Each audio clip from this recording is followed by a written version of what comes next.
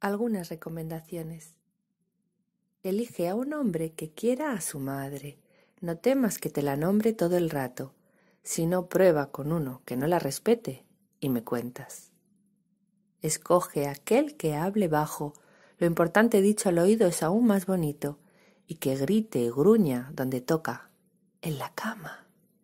Busca un padre, con hijos o sin ellos, ese amor responsable, incondicional, que dé seguridad y sepa poner límites, excepto a la ternura.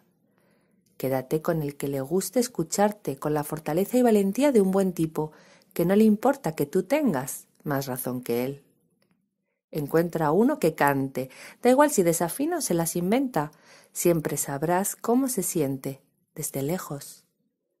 Vive con un compañero que sepa hacer una casa, que tenga la paciencia de cuidar de los detalles y que entre los dos avivéis el fuego de un hogar.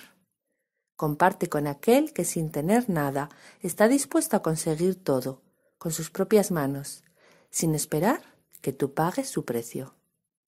Enamórate de quien te diga te quiero, no puede darse por supuesto, y que no le dé vergüenza hacer el brindis dedicado a ti.